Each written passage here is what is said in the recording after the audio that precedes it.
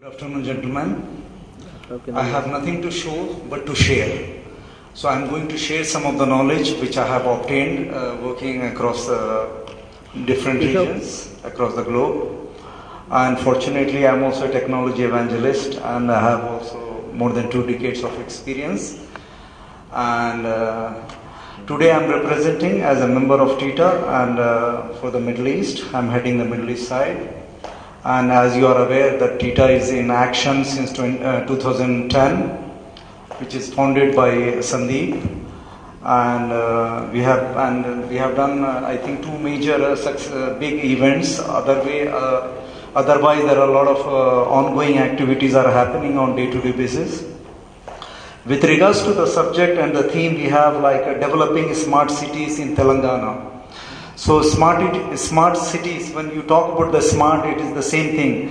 You have to have uh, the specifications and spe- you need to be specific what you want to at- what you want to achieve with regards to the smart city and what are the things uh, you are going to achieve and how that can be measured and how you are going to monitor and measure the progress and how it can be attained and how it can be you know timely executed those are the the conventional and uh, the time management and the leadership kind of thing which we are talking about.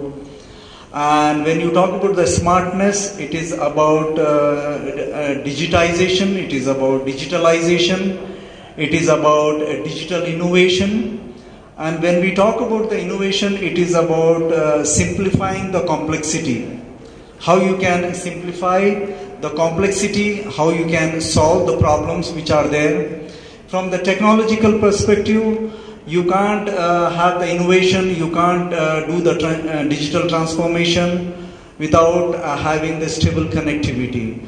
Of course, some of the problems uh, spanning from the toilets and to the to the different uh, aspects which has been discussed you can't achieve the smartness whether it is in terms of the cities or in terms of the education or in terms of the healthcare industry so those need to be uh, the, the, the logbook uh, which has been already there that need to be resolved. From the uh, from the global perspective with regards to the smart cities as uh, some of you were mentioning that uh, some of the US and European uh, countries they have introduced successfully the smart cities concept and the management and the governance where you can measure as a citizen what are the services are being delivered and how uh, those serv- how the citizens uh, uh, reacting to those uh, deliverables. That is one of the thing. Of course uh, from the consumerization of it we talk about delivering a service from the citizen centric perspective. From uh, uh, if you talk from the middle east dubai government they have taken uh, an initiative of uh, mobile government where all those uh, government services which are being delivered to the uh, citizens and to the to the businesses will be consolidated on the handhelds. And also we have seen from the other perspective that there are uh, big uh, e-commerce stores and uh, sites. Uh, they have uh, they are wrapping up those websites and they are uh, just providing one platform where you should be able to conduct uh, all your transactions on the mo- mobile phone. So and there are some countries uh, last month i have was also invited for the uh, government technology summit in dubai. And in there uh, there is a uh, estonia which is a small country somewhere in europe. It's a part of the schengen.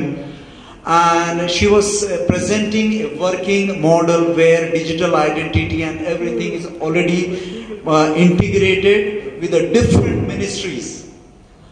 And you as an outsider you can become an e-citizen or e-resident and you can uh, register an online business within 10 to 15 minutes. And that's an awesome thing. So i think those kind of initiatives need to be considered. And when we talk about the smart cities uh, cities it is about uh, understanding what is happening like considering the business cases and developing a framework.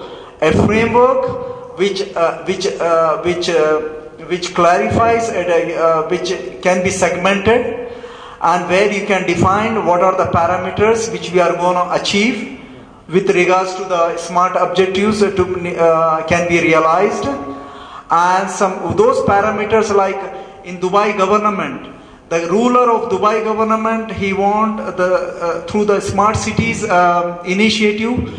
Smart cities or mobile uh, government is nothing but is about creating the happiness across the citizens. How as I as a ruler of the country can bring the happiness to my citizens?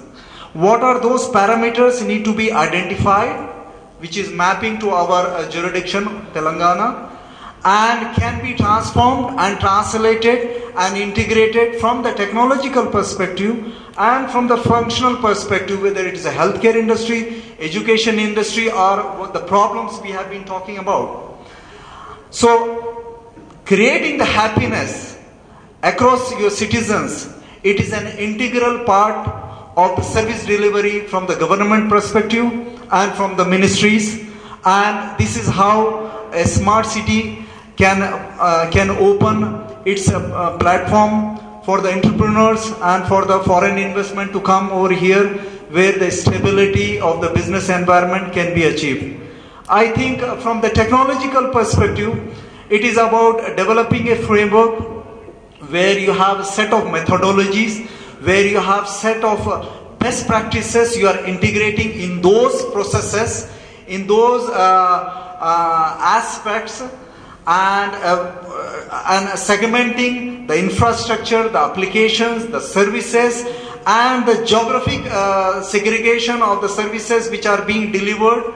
So we are not just covering the technological aspect, not only covering the problems or the issues which is related to the citizens, but also trying to incorporate the knowledge and the know-how experts like uh, from the education which he is talking about all of that can be integrated and can be streamlined and can be aligned with the best practices which are being uh, a part of uh, the governance which is being delivered across different countries. So uh, I am a subject matter expert on the on the big data and the cloud. So there is there is a lot to talk on that. And uh, I think uh, other speakers have explained uh, the concept and the things very well. So I would like to conclude over here. Unless if there is anything specific you want to ask, I think we if we have time to ask questions. Thank you.